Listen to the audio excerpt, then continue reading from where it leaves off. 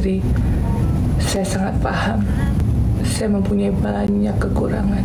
Saya ingin meluruskan bahwa berita perselingkuhan itu tidak benar.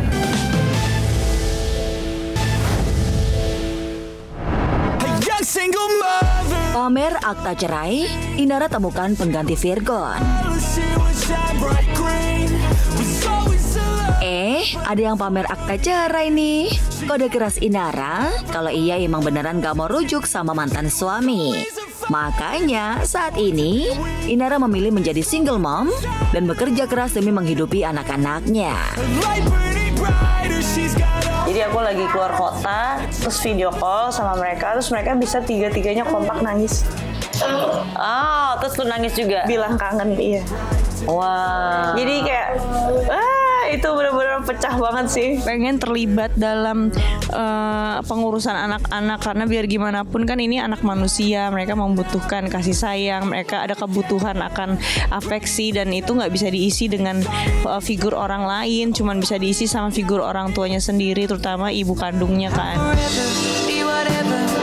Tantangannya bukan main-main, karena Inara yakin mampu mengatur waktunya bekerja dan mengurus anak-anak. Wah, jadi mommy strong ya bun? Tantangan terbesarnya adalah ketika kita bagi waktu antara pekerjaan sama ya profesional menjadi seorang ibu. Setahun lebih resmi menjadi single parent, Inara kembali menampakkan wajah sumringah saat bercerita kepada Bunda Maya jika dirinya telah menemukan tambatan hati yang diyakini sebagai calon suaminya. Kalau mami ketemu pacar baru, kamu boleh nggak? Aduh, Maksudnya kalau mami, mami mau tiba-tiba nanti harus nikah lagi, kamu gimana? Boleh atau enggak? Boleh. Boleh. Terus mami sih. Oh kamu boleh? Eh, segala-galanya nggak masalah, tetap boleh sih. pengennya orang yang baik, orang yang sayang pastinya bukan cuma sama aku tapi sama anak-anak dan dia juga bisa apa ya melengkapi dan mensupport. Dapat lampu hijau dari anak-anak, memuluskan jalan Inara membuka lembaran baru dalam diary asmaranya. Tapi benarkah Inara menyebut sudah memperkenalkan sosok pasangan pada anak-anak lantaran merasa pernikahan mereka bakal terjadi dalam waktu dekat ini. Yang penting jangan bikin mami nangis ya. Ah, ah. Bikin mami nangis, awas kau.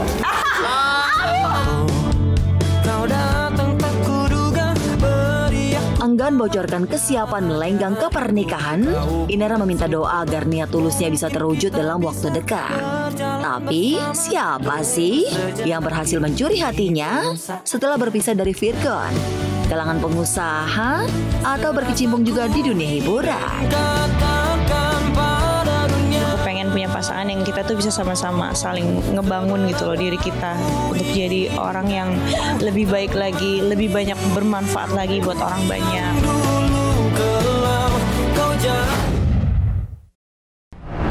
Bantah kerahasiaan pernikahan, Paula ingin rumah tangganya dengan Baim tetap utuh. Sempat irit bicara saat menjalani sidang perdana perceraiannya dengan Baim Wong, akhirnya Paula Verhoeven angkat bicara soal tuduhan selingkuh yang ditujukan padanya lewat media sosial pribadinya. Dengan menahan air mata, Paula mencoba meluruskan rumor yang sudah berkembang liar. Dalam kesempatan ini, izinkan saya untuk meluruskan dengan segala keterbatasan saya. Narasi perselingkuhan yang menjadi pemberitaan belakangan ini akan menjadi jejak digital bagi anak-anak kami di kemudian hari. Selama masa pernikahan sebagai istri, saya sangat paham. Saya mempunyai banyak kekurangan. Saya ingin meluruskan bahwa berita perselingkuhan itu tidak benar. Dengan segala kerendahan hati, mohon doanya. Kalau bentuk penyesalan kan bisa dilihat ketika misalnya ketika yang bersangkutan menaruh tangannya di dada. Ada part di mana dia juga menahan dalam hal ini menahan di anger state itu kan dia marah karena harus berhadapan dengan situasi ini. Paula tak mau segala pemberitaan dan isu-isu yang beredar akan menjadi jejak digital yang bisa diakses kedua anaknya. Oleh karena itu, pada kesempatan itu, Paula pun meminta maaf kepada anak-anaknya. Dan untuk anak-anakku, Kiano dan Kenzo, permata hati mama. Maafkan mama dan papa ya nak. Bismillah. Semoga Allah memberikan kemudahan dan menjaga kita semua. Mama papa selalu sayang kalian.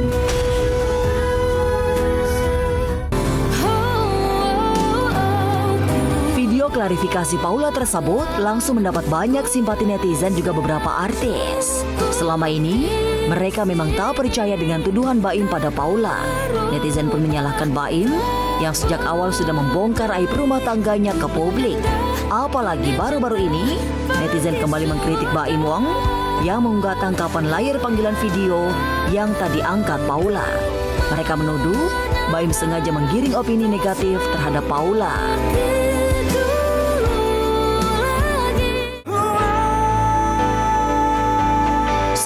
Itu, sebagai sahabat, Sirin Sungkar yang selama ini cukup dekat dengan Paula dan Baim pun sangat menyayangkan perceraian kedua sahabatnya itu dan mendoakan yang terbaik bagi keduanya. Aku tahu ceritanya seperti apa.